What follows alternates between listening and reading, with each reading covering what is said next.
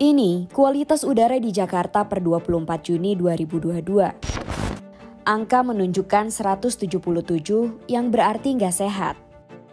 Status ini bikin Jakarta jadi kota dengan udara terburuk di Indonesia.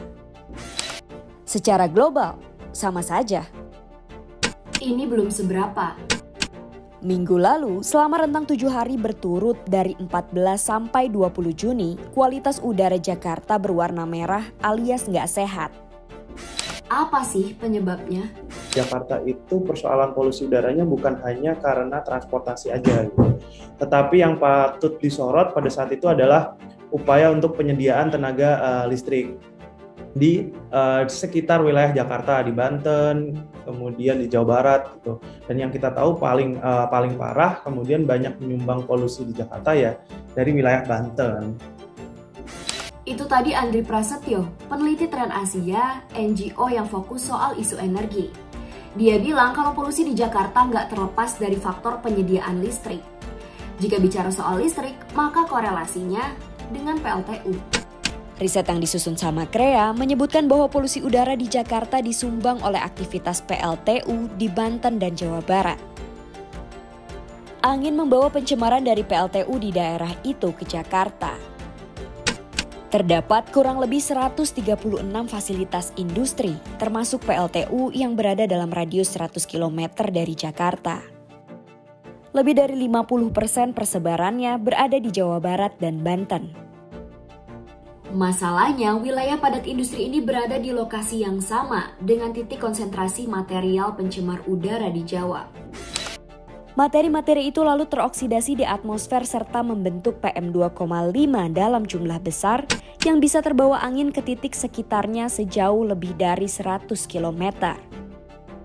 Oke, PLTU-nya ada di mana aja? Ini PLTU Jawa 7 ini PLTU Indramayu. Dan ini Suralaya 9 dan 10. Itu yang udah eksis ya. Nah, yang masih dalam tahap perencanaan banyak juga.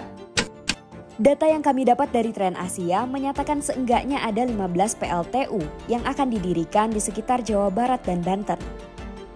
Beberapa ada yang dikelola negara lewat tangan PLN, dan beberapa juga ada yang meminjam campur tangan swasta seperti Bakri dan Marubeni Corp. Jadi sejak 2014, Mbak, memang uh, kecenderungan uh, pemerintahan saat ini, pemerintahan uh, Presiden Jokowi banyak sekali menambah PLTU. Dengan waktu itu janji kampanyenya di 2014 mega proyek 35 gigawatt. Dengan kondisi misalnya listrik di Pulau Jawa, Pulau Jawa ini kan banyak sekali PLTU gitu, padahal listriknya udah oversupply hampir 50% persen gitu. Upaya perlawanan turut dilakukan sehubungan polusi udara ini.